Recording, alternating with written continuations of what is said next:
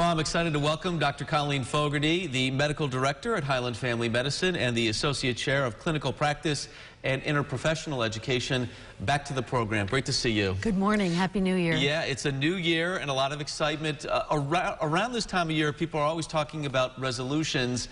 We're going to sort of put that aside and, and, more so make a call to action, right?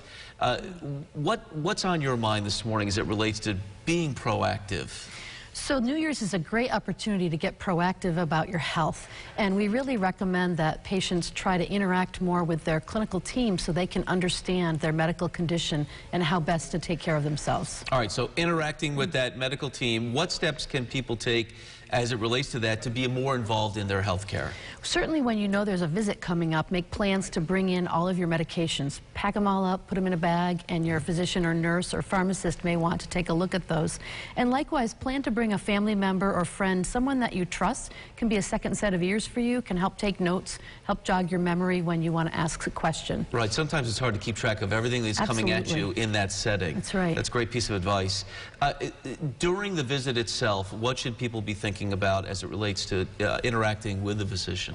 There's an excellent national campaign called Ask Me 3, and what that means is for patients to be able to ask their healthcare team three questions. The key questions are, what is my condition? What can I do for myself to take care of myself? And the third thing is, what kinds of things are important about this condition for me to know? Those questions, uh, why are, why are they the most important? And by that I mean, of all the things you could ask a physician, why does that sort of get to the heart of what every patient should be thinking about as it relates to their health care?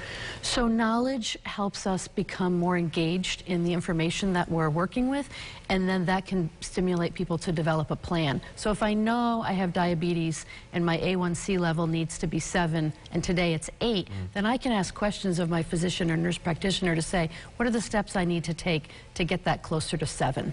All right, so that's how we want you to be proactive going forward is uh, sort of taking charge of your health care right. and, and, uh, and getting a little more involved is, is really the word we're using. Doctor, thank you. Thank you. Uh, that's on the plate here in 2019. We've got some online resources as well we want to share with you. If you missed any of this conversation, this call to action, we're sharing it online at rochesterfirst.com.